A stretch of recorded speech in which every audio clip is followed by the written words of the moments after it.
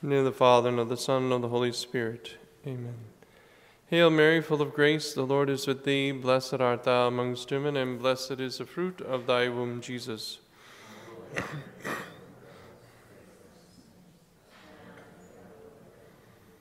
Our Lady, star of the new evangelization. Saint Joseph, our patron saints and guardian angels.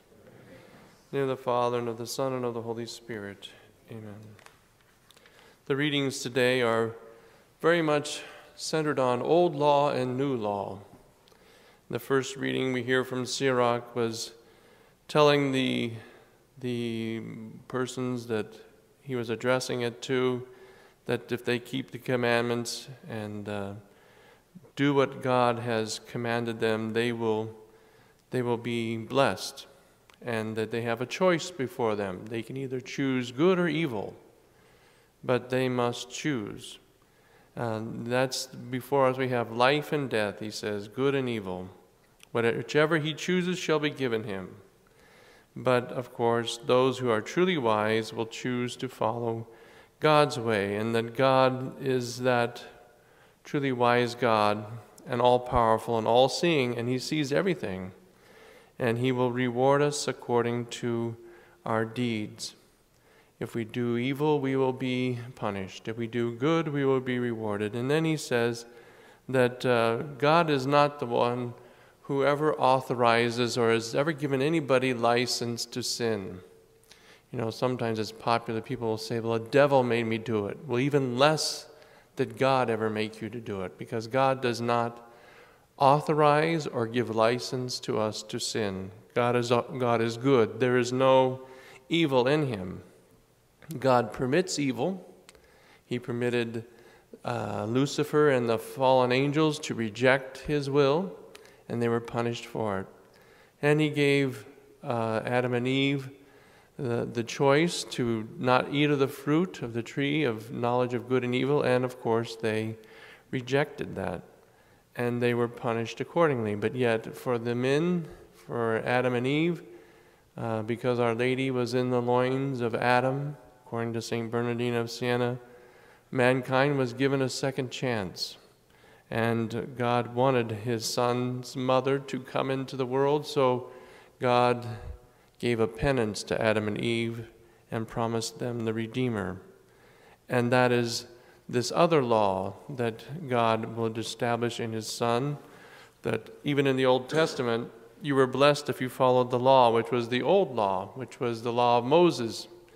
There were certain blessings attached to it, even though it couldn't give you the means to, to live it interiorly uh, to, to its fullest, yet if you followed the Ten Commandments in the Old Law, you were much wiser than the pagans and those around you who maybe had an inkling of it because it's part of the natural law, but you were blessed because God had revealed to you what would make you happy, how you would truly be blessed in life if you followed the Ten Commandments, which Moses was uh, given by God on stone tablets, and Moses promulgated them to the Jews. Later on, the Jews, you know, because of human weakness and because of just the faulty nature of fallen mankind, they added a lot of other things that are not part of what God wanted them to observe. You know, the Pharisees added all these other prescriptions and other unnecessary things which our Lord was not happy with that really had nothing to do with, with following God and doing His will. But it became kind of like part of the ritual of this particular club, you might say, that had formed within the Jewish religion. But the true wisdom and the true blessings that God wanted them to observe were the, Ten Commandments and that which was associated with it. And of course, to already in symbolic fashion to sacrifice, to offer uh, various sacrifices to God, which was to prepare them for the coming of the Lord when they would recognize in our Lord the true paschal lamb and the true sacrifice that was to be offered for their sins. And even in St. Paul's letter, he speaks again that the wisdom that God has given us, and it far surpasses even the wisdom of the old law, because the wisdom that God has given us in the new law is not written on stone tablets, but is rather written on our hearts. And all that the old law was, you might say, preparing us for, we have received in its fullness in the New Testament, the new covenant, the new law established by our Lord. And that uh, those in the Old Testament, they didn't recognize this wisdom of God. And if they had, he says, they wouldn't have crucified our Lord, but rather they would have accepted him and embraced him. But even that was, to, God used that to our benefit because he even made it even more clear by his death and resurrection how far this new law surpasses the old. And uh, that uh, God has given us this Spirit that now dwells in our heart by grace to help us to live in a way which is far superior to the old law. And that's what our Lord is making allusion to and in teaching in the gospel today.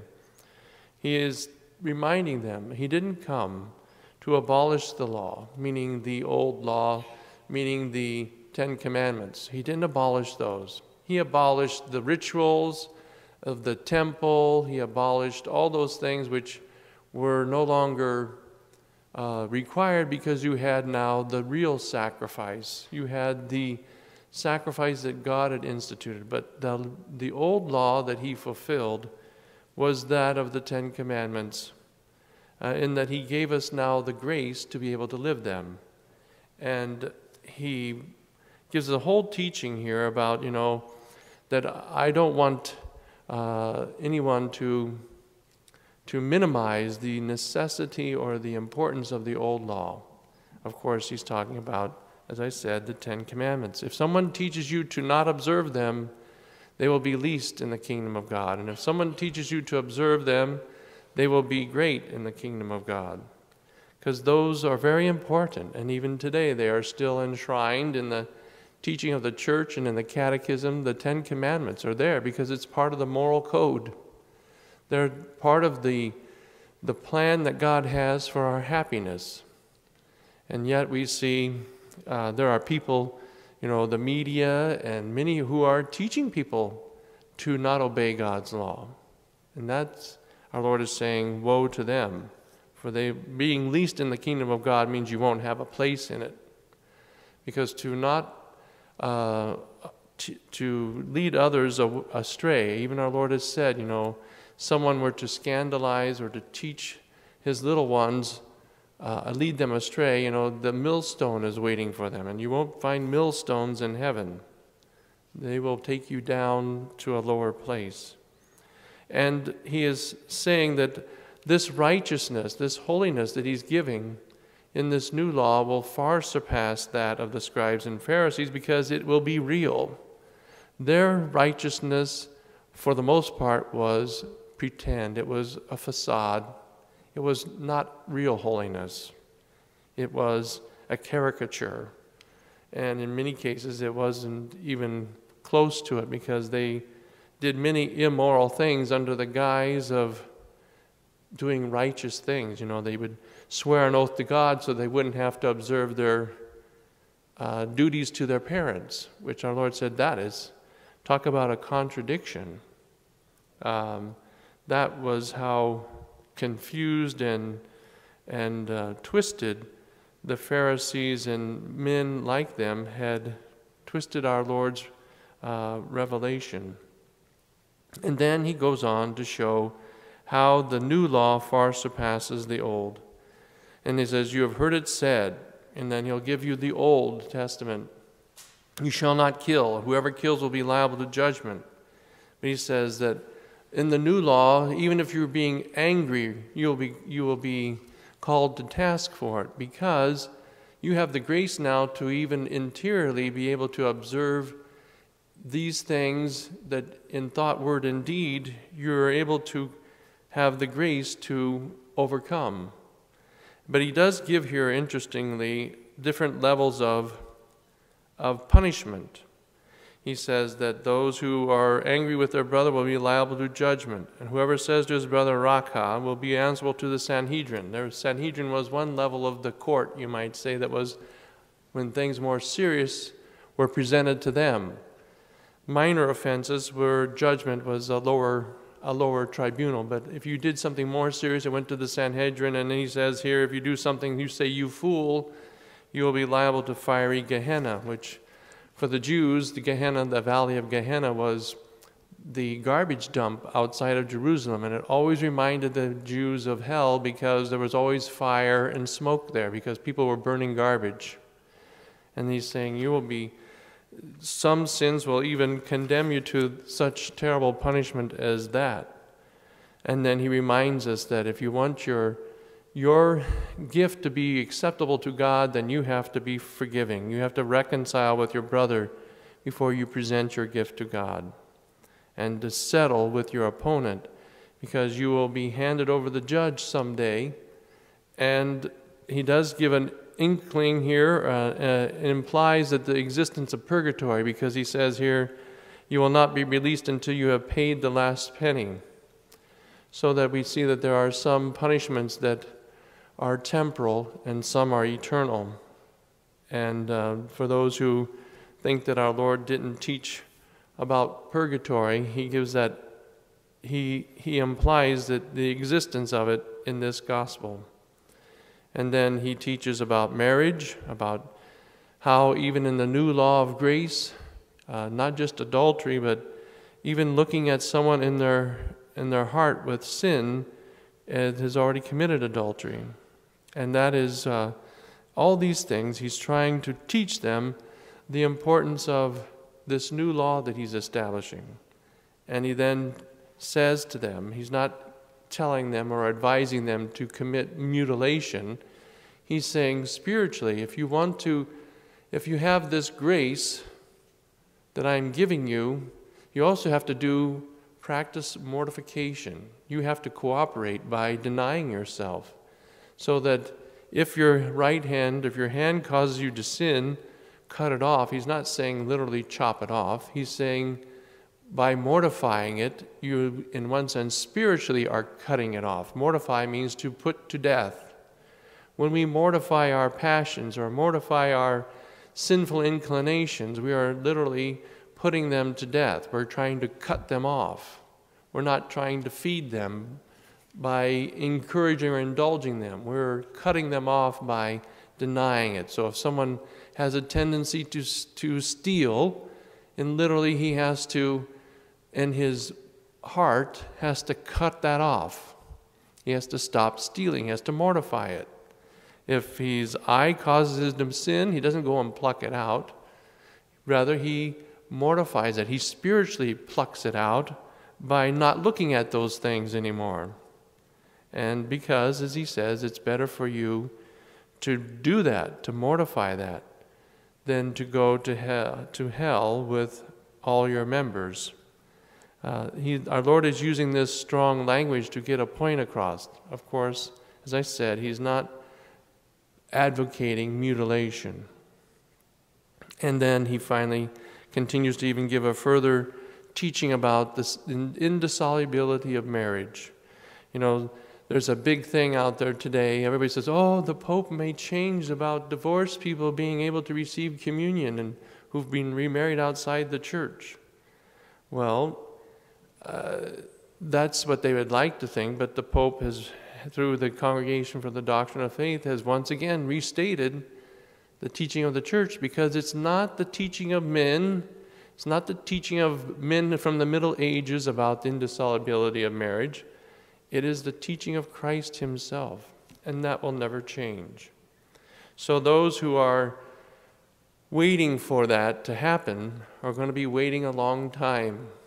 You know, that's, um, that's the, um, the rude awakening that they may, will have to accept. God is like this immovable rock And you know, it's even compared. The Lord is my rock. And you can't push this rock. If you keep pushing against the rock, the only thing you're going to do is bruise your head or hurt yourself. And our Lord is saying that that rock is there for a good reason. It is to be a solid reminder to us of what is our, for our happiness. And He has given these things to us, these teachings, not because God is trying to make us miserable or to just, you know, it's because He wants us to be happy. He wants us to see where is the true law of freedom, to truly live what Christ has established, to live the faith, to live the Catholic faith in all of its aspects, both the moral teachings and those which are considered more lofty, like the Trinity and the Eucharist and the real presence. All these are meant to, for our happiness. They're all to give us that true joy that only Christ can give, that only can come from living the gospel, as Pope Francis wants to remind us. So, all those out there who think that the church is the biggest party pooper, you might say, out there that destroys all your fun, they're really going to be in for a rude awakening. Or hopefully, we pray that they will receive the grace to realize that what they have been doing all this time has been kicking against the goad, as St. Paul said in his writings, you know, that they're really kicking against the thing which is to their benefit, and that they will realize that uh, they need the, this, this grace. They need what our Lord is offering them for their true happiness. This is the, the humility that we need that man needs to humble himself to realize that he doesn't have the answers, that God has given the answers for what are the true essence of what is to be happy in life. There are many people out there who say, Well, I question the teaching of the church. Well, it's all right if you have some questions, but is, are, you, are you wanting the answers? Or are you just saying, I'm questioning because I want to throw it into doubt so I can do whatever I want. If you really are questioning, that means you're looking for answers. And, uh, and the church has the answers. Not because in some kind of arrogant way, but because the church has been established by Christ. And He is the way, the truth, and the life. And He has the answers. He has given us all that we need to know to make us happy in life. Let us pray that we will always have the humility to accept it because we can't be proud of our quote unquote orthodoxy. We can't think that somehow we're, you know, always going to be uh, enlightened about this. If we always must always be humble and say, Thank you, Lord, for giving us this grace to, to know and to believe and to follow you. But we also pray for those who do not yet or have not yet received that grace, that they will open their hearts to Christ who is knocking and wants to enter. But as he's always reminded us, that the doorknob is on the inside and that they have to open up and receive him. Let us pray that Our Lady will grant them the grace, the star of the new evangelization will lead them to Christ and to his to the happiness and joy that He wants for them. In the name of the Father, and of the Son, and of the Holy Spirit, amen.